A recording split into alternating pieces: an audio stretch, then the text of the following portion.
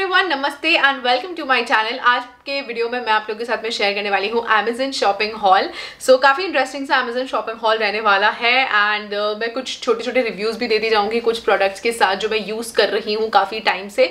This video in collaboration with M H S description box में एक link दिया रहेगा. तो ये बेसिकली करता क्या है? जैसे जब भी आप कोई शॉपिंग करते हैं तो आप नीचे लिंक्स देखते होंगे काफ़ी सारे लिंक्स दिया रहता है. तो आप उन एक एक लिंक्स पे ना जा करके आप डायरेक्टली मेरी जो माई हॉल स्टोर की जो लिंक है आप उसको क्लिक कर सकते हैं. पेज ओपन होता है जब आप उस लिंक को क्लिक करेंगे तो मेरे जो पुराने इवन शॉपिंग हॉल्स हैं वो सब भी आपको यहीं पर देखने को मिल जाएँगे। विद पिक्चर्स विद प्राइजेस तो देखना काफ़ी ज़्यादा ईजी हो जाता है। एंड येस yes, अब हम बिना देरी करे स्टार्ट करते हैं अपने वीडियोज़ से। तो सबसे पहले हम स्टार्ट करते हैं फ़र्स्ट प्रोडक्ट से। अगर आप मेरे व्लॉग्स को फॉलो करते होंगे तो मैंने ये तीन प्रोडक्ट्स परचेज करे थे फ्रॉम फॉरेस्ट एसेंशियल एसेंशियल का हेयर क्लेंजर इसमें मिला हुआ है आंवला हनी एंड मुलेठी अगेन ये है हेयर क्लेंजर एंड ये है कंडीशनर तो ये है ब्रिंगराज एंड शिकाकाई वाला कंडीशनर मतलब इसके साथ का ये कंडीशनर है ये मैंने अकेला शैम्पू ऑर्डर किया था।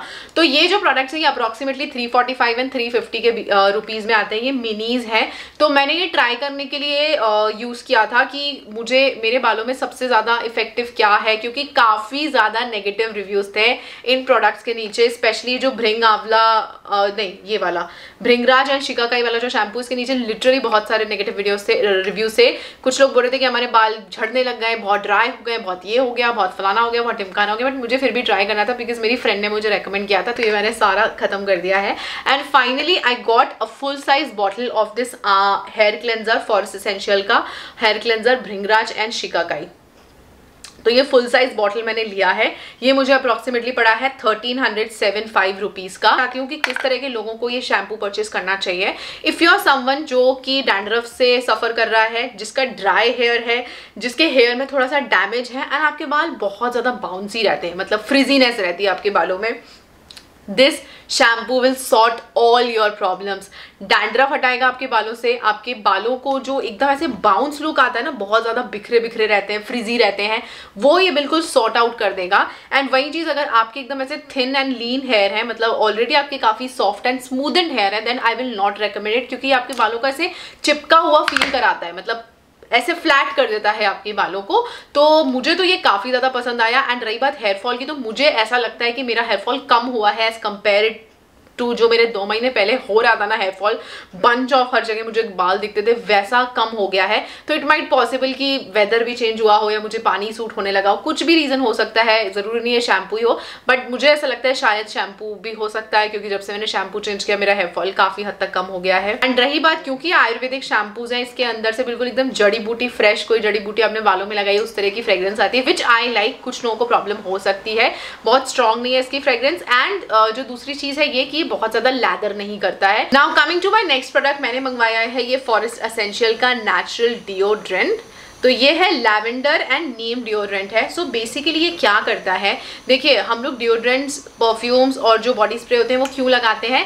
ताकि हमारी बॉडी एक अच्छा से नो फ्रेश अच्छी खुश खुशबू आए बहुत अच्छी फ्रे, फ्रेश सी फ्रेगनेंस आए.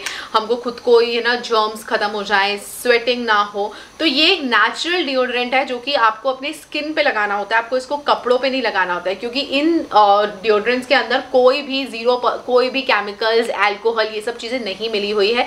हंड्रेड परसेंट नेचुरल है। इवन फिट ट्यूबर जो है ना, उन्होंने रेकमेंड किया था इसको अपने एक वीडियो में। इसकी जो फ्रेग्रेंस है वो बिल्कुल एकदम आपको ऐसे ही लगेगा कि आप सच में लैवेंडर और नीम ऑयल को मिक्स कर दिया है, किसी ने उस तरह की फ्रेग्रेंस आती है इसकी।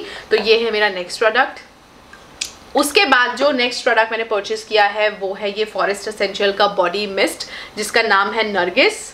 तो ये एक्चुअली इसके बारे में आपने मेरी फ्रेंड देख, को देखा होगा आकांक्षा। उसने मुझे बताया था कि वो जो उसका डिओड्रेंट है वो जब उसको इस ये जो नरगिस परफ्यूम है ये लगा के जाती थी अपने ऑफ़िस में तो लिटरली उसके ऑफ़िस वाले सब पूछते थे कि आपने कौन सा परफ्यूम लगाया हुआ है? इतनी शानदार उसकी फ्रेग्रेंस थी। इतने अच्छे अच्छे पॉइंट्स बोल दिए थे कि मुझे बहुत मन होने लगा था कि मैं एक बार ट्राई करके देखती हूँ। उसको अगेन बॉडी पे लगा सकते हैं उसमें कोई भी हार्मफुल केमिकल्स नहीं है। एंड ट्रस्ट मी इसका जब फ्रेग्रेंस मैंने स्मेल किया ओ माय गॉड ऐसा लग रहा था, आप किसी लग्जरियस बड़े से होटल के स्पा में चले गए हो, वहाँ पर बहुत सारे फ्रेश फ्लावर्स हैं, उसकी खुशबू आती है, ये इतनी अच्छी इसकी फ्रेग्रेंस आती है। मतलब बहुत ही अच्छी, अभी जैसे मैंने लगा लिया ना तो ये इसकी पूरी फ्रेग्रेंस पूरे रूम में आएगी, हल्की हल्की भीनी भीनी से खुशबू आएगी। बहुत ही बहुत ही अच्छा लग रहा है मुझे ये। ये जो नरगिस आया था, उसके साथ मुझे ये एक डेलिकेट फेशियल क्लेंजर आया है, कश्मीरी सैफरन एंड नीम वाला। This is a trial version जो I am going to try it out और मैं इसको यूज़ करके बताऊँगी कि कैसा है। बाद जो नेक्स्ट प्रोडक्ट है, वो है ये फॉरेस्ट एसेंशियल का silk and dusting powder honey and vanilla के वर्जन में ये एंड ओ माई गॉड आपको याद होगा मैंने दो से तीन मंथ पहले लिया था, जो कि हमारा ऑलमोस्ट खत्म हो गया। उसको विक्की भी लगाता था, मैं भी लगाती थी। एंड अब हमने ये हनी एंड वनीला का वर्जन मंगवाया है। एंड माई गुडनेस यार, इसकी फ्रेग्रेंस इतनी मतलब मैं फॉरेस्ट एसेंशियल के प्रोडक्ट्स बहुत यूज़ नहीं करती थी। मैं अभी कुछ टाइम से ही यूज़ कर रही हूँ। धीरे धीरे करके मैंने बड़ा किया है अपना फॉरेस्ट एसेंशियल का जो ये ग्रुप है। बट इनके प्रोडक्ट्स की दाद देनी पड़ेगी। नो डाउट इनके प्रोडक्ट्स थोड़े एक्सपेंसिव हैं बट जो इनकी फ्रेग्रेंस आती है, इतनी अच्छी लगती है, इतनी ज़्यादा अच्छी लगती है कि मैं क्या बताऊँ। तो ये जो सिल्क एंड डस्टिंग पाउडर है अगैन इसको आप हर जगह यूज़ कर सकते हैं। अपने बॉडी में केमिकल फ्री होता है। फेस पे इवन मैं इसको एज अ डस्टिंग पाउडर जो डेली यूज़ में यूज़ करने का होता है ना, वो मैं यूज़ करती हूँ।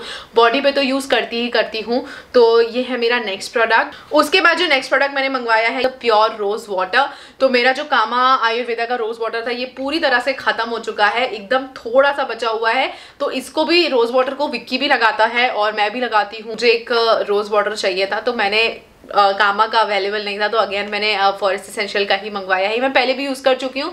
अगर आप दोनों में कंपेयर करके पूछो तो मुझे कामा का ज़्यादा पसंद है बट ये अवेलेबल नहीं था तो मैंने ये वाला मंगवा लिया है। उसके बाद जो नेक्स्ट प्रोडक्ट है, वो है ये एक दे का लिप बाम आई नो मैंने इसका रिव्यू दिया था अपने एक वीडियो में। क्योंकि ये प्रोडक्ट मेरे पास था तो ऑब्वियसली मैं इसको यूज़ कर ही रही थी। तो उस वीडियो में ना काफ़ी लोगों ने मुझे बोला था कि कहीं ऐसा तो नहीं है, रुचि आपने ये प्रोडक्ट आपके पास फेक आ गया हो। नहीं, मेरे को ये एगते के जो अमेजन में एकते सेलर है ना, उन्हीं से मैंने ये परचेस किया था। अब आई डोंट नो अंदर कुछ घपला हुआ हो और अलग प्रोडक्ट आ गया हो बट जब मैं इसको यूज़ कर रही थी, जैसे वो मेरा फ़र्स्ट सेकंड डे का रिव्यू था, मैं लेकिन टू बी वेरी ऑनेस्ट जब मैंने इसको यूज़ किया यूज़ किया यूज़ किया तो हो सकता है इसका जो मेन टेंट है ना, वो अंदर अंदर होगा। तो अब जैसे कि देखिए आप, अब मैं इसको आपको बताती हूँ कि यहाँ पर देखिए कितना सारा टेंट आ गया है। तो अब जब मैं इसको यूज़ करती हूँ तो इसमें एक अच्छा खासा टेंट आता है। दो बहुत ज़्यादा डार्क टेंट नहीं है बट थोड़ा बहुत टेंट इसमें आ रहा है। तो आई वुड से कि जो एकदम फ़र्स्ट सेकेंड इम्पल्सिव मेरा जो एक रिव्यू था ना कि अरे ये क्या प्रोडक्ट है, ये कुछ काम ही नहीं कर रहा है, वैसा नहीं है, हल्का टिंट आता है अब इसके अंदर, लेकिन हाँ वही है कि इसको तीन, चार बार लगाना पड़ता है तो फिर इसका डार्क टिंट आने लगता है तो ये है मेरा next product still I would not say कि आप इसको परचेस करो ही करो या रेकमेंडेड रेकमेंडेड है ये मेरे तरफ़ से. मतलब ऐसा है कि इस के टक्कर के और अच्छे lip and cheek tints available है मार्केट में हर्बल वाले तो मैं बोलूँगी आप उनको ज़्यादा अच्छे से ट्राई करिए rather than investing in this product अभी मतलब इट्स सो सो प्रोडक्ट वाला है। तो ये था मेरा नेक्स्ट प्रोडक्ट के बाद आते हैं कुछ और चीज़ पे। मैंने कुछ और चीज़ें भी मंगवाई है तो वो भी मैं आप लोगों के साथ में शेयर कर लेती हूँ। तो मैंने एक ये एडिडास का पुल ओवर मंगवाया है पुल ओवर जैकेट आप उसको बोल सकते हो। So this is a sport jacket actually तो ये एक स्पोर्ट्स जैकेट है एडिडास का। यहाँ पर पीछे हुडी दिया हुआ है। इसका फिट बहुत अच्छा है। ये इसके स्लीव्स पे सिर्फ़ यहाँ पर मेंशन है एडिडास बाकी और कहीं पर भी ब्रांडिंग नहीं दी गई है। So I really like it मतलब मुझे अच्छा लगा ये। एंड मैंने ये बड़े साइज़ में मंगवाया you know pullover jackets वगैरह तो थोड़े लूज ही अच्छे लगते हैं। तो मीडियम आप इसको, वैसे तो ये स्पोर्ट्स वाला है but according to the fabric जिसका फैब्रिक मुझे लगता है, इसको आप आराम से जो मीडियम थोड़ी थोड़ी ठंडी ठंडक नहीं हो जाती है वेदर में, ऐसा ठंडक ठंडक सा वेदर होता है, तब आप इसको कैरी कर सकते हैं। तो मैं इसको पहन के दिखाऊँगी तो आपको और अच्छे से समझ में आएगा।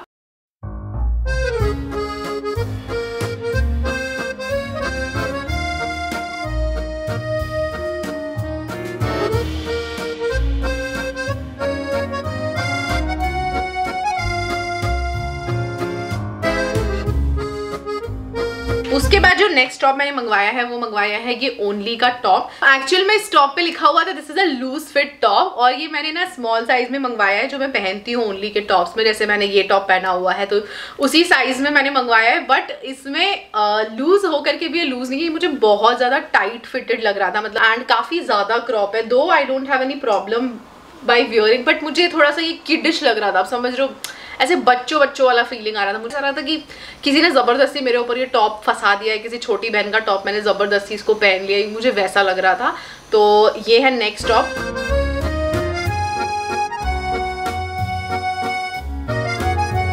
उसके बाद आते हैं नेक्स्ट परचेज पे। तो ये मैंने वेरोमोडा का एक टी शर्ट मंगवाया है। काफ़ी मतलब कूल सा टी शर्ट है। कलर मुझे बहुत अच्छा लग रहा था। स्मॉल साइज़ में इसमें लिखा हुआ है स्टे स्ट्रॉन्ग एंड फैब्रिक भी इसका काफ़ी अच्छा लग रहा था। मतलब टी शर्ट ये घर में पहनने के लिए तो मैं डेफिनेटली नहीं यूज़ करूँगी। बाहर पहनने का ही टी शर्ट रहने वाला है। तो ये है नेक्स्ट प्रोडक्ट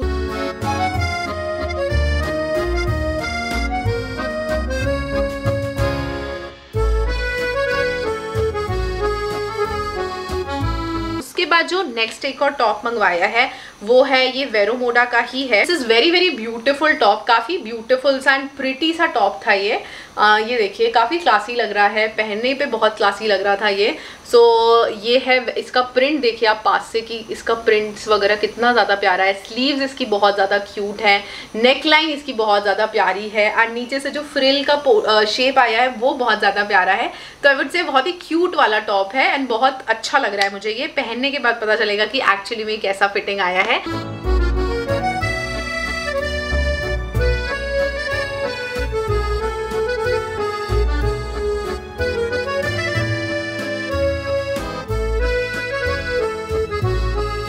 उसके बाद जो लास्ट परचेस है, वो अगेन ओनली का ही टॉप है एंड जिस कलर का टॉप मैं पहनी हुई हूँ, उसी कलर का एक्चुअली टॉप मुझे ये कलर काफ़ी पसंद है बर्नट ऑरेंज सा। तो उसमें ये ऐसे ऑरेंज कलर की शर्ट है again this is a very very classy piece full sleeves का है. नेक लाइन इसकी बहुत प्यारी है और कपड़ा मुझे इसका बहुत अच्छा लगा. तो बहुत ज़्यादा क्रॉप है, ना ही बहुत ज़्यादा लॉन्ग टॉप है. परफेक्ट फिटिंग का टॉप है. तो ये नेक्स्ट परचेज पहन के दिखाऊँगी तो और अच्छे से आपको समझ में आएगा.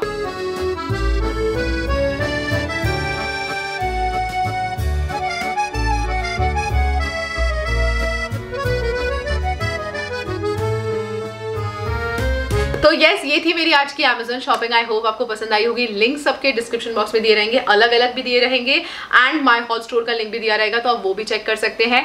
So yes that's it for my video अगर आपको मेरा वीडियो पसंद आया है then do not forget to hit the like button subscribe to my channel and comment down below मैं मिलती हूँ आपको मेरे नेक्स्ट वीडियो में. Till then bye